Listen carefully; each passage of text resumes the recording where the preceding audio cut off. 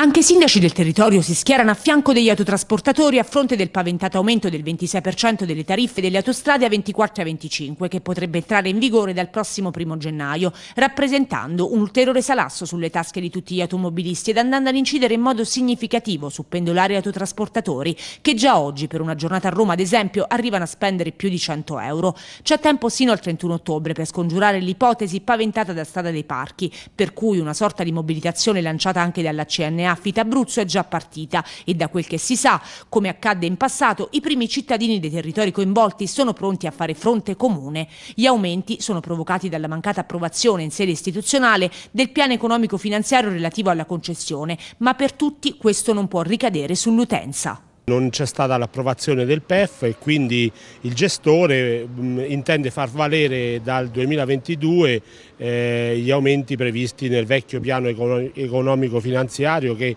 in questo caso eh, ammonterebbero a circa il 26% per tutta una serie di calcoli che non sto qui a riportare. La mobilitazione dei sindaci di Lazio e Abruzzo eh, non si è mai interrotta e a questo scopo faremo un incontro il mercoledì prossimo per eh, stabilire nuove forme di protesta dopo quelle che abbiamo fatto nei, nei mesi passati. Gli autotrasportatori giustamente sono stati i primi ad alzare eh, i,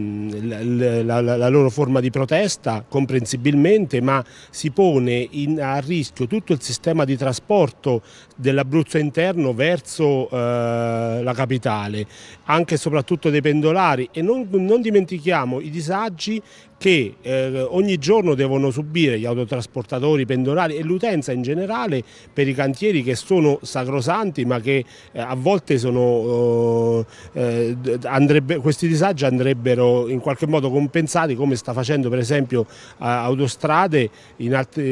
per altre tratte con una riduzione dei pedaggi.